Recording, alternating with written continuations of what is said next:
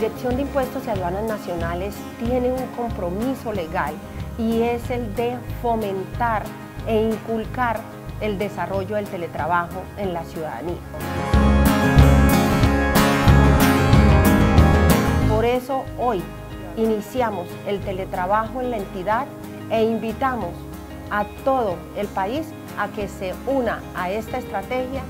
que estoy segura contribuirá al mejoramiento de la calidad de vida de nuestros ciudadanos y por supuesto a incrementar la productividad